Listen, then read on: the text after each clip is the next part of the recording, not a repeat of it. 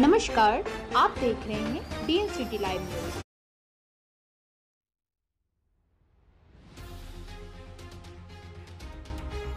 Ballia नगर परिषद चुनाव नामांकन के अंतिम दिन सामाजिक कार्यकर्ता रंजन चौधरी ने बलिया नगर परिषद वार्ड संख्या पाँच से वार्ड पार्षद पद पर अपना नामांकन पर्चा दाखिल किया।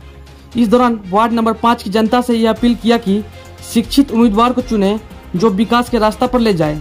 आपके वार्ड को साफ़ सफ़ाई रखे। आपके वार्ड में लाइट बिजली की समस्या को दूर करे।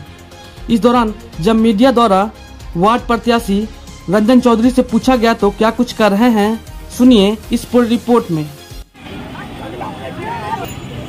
क्या नाम हुआ आपका? रंजन कुमार।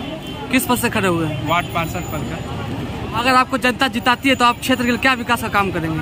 अगर हमको जनता अगर वार्ड मेरा वार्ड जनता जिताती है सबसे पहले साफ़ सफ़ाई पर ध्यान देंगे।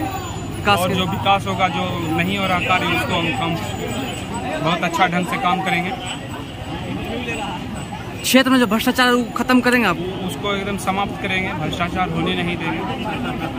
क्या नाम हुआ आपका? रंजन कुमार। Ward number? पाँच।